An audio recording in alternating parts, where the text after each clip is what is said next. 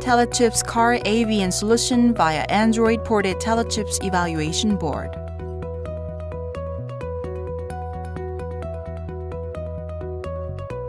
The boot time is amazingly short. It requires less than 10 seconds. Let us connect the power and change into reverse gear with the cable connected to the rear camera port. The rear camera is available to operate even before booting is completed. You can check on the rear camera with touching camera icon on the home screen. The next feature is CarPlay. CarPlay is a perfect solution that lets you use key features of Apple iPhone with your car AVN. Click on the music icon and it will play music from your Apple iPhone. Next, the map service. Let's click on the map icon on the home screen. You can play podcasts saved on your Apple iPhone by clicking on podcast icon.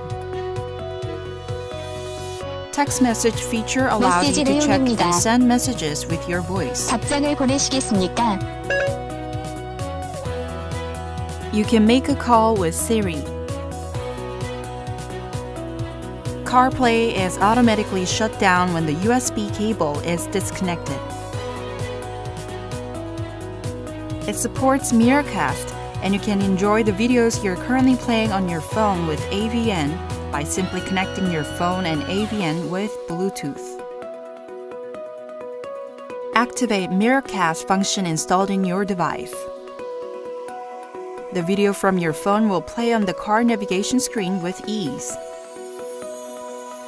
Your browsing activities will be shown on the car navigation screen.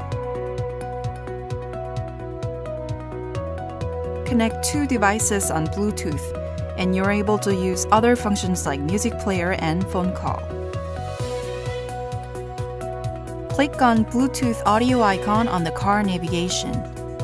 You see the navigation is synced with the music player from your phone. Phone and car navigation together as one convenient device. Telechips.